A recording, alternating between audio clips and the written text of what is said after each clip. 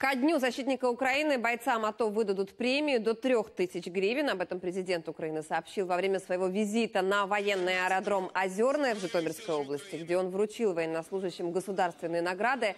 Порошенко пообещал, что до конца года армия получит еще более тысячи единиц военной техники. По его словам, часть этого вооружения направят на склады резерва. Я дуже добре пам'ятаю 14 рік. Цьому році оборонна промисловість передавала партії озброєння, якого вистачало лише для взводу.